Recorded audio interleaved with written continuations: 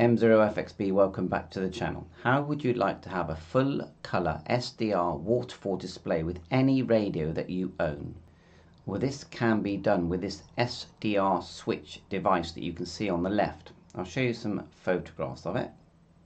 It's a neat package. On the back, you've got the SO239 for the radio, antenna connection, PTT ground, SDR connection, and 13.8 volt DC. Show you some more photographs that are provided. It's up to 100 watts and it covers 1.8 to 30 megahertz.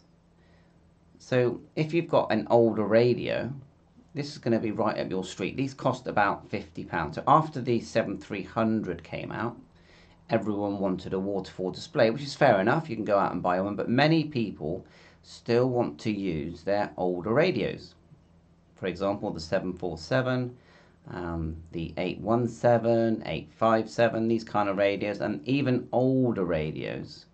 Um, and there are many of them, of course. Uh, many of us don't want to throw away our radios. Here's an older one here. So this device is quite straightforward to use.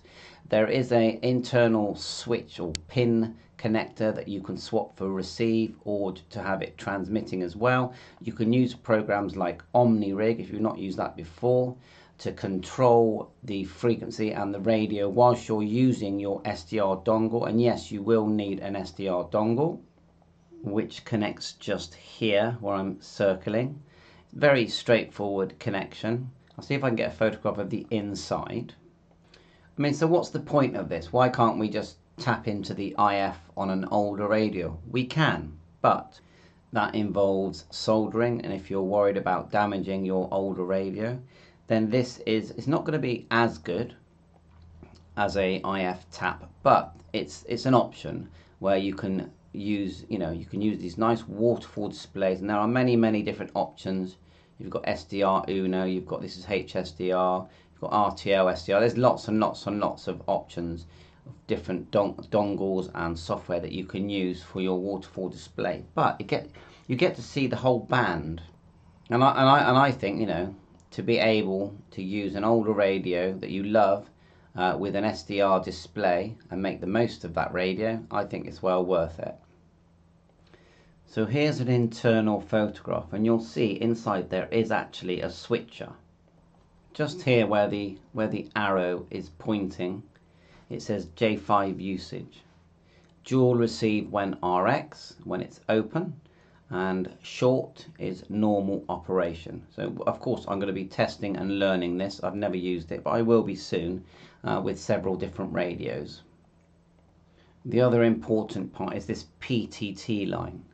I've just watched a video by TechMinds and there is a sort of RF sensing, I don't know, trigger inside this device and it can't be adjusted so thanks to Matt for his video on this.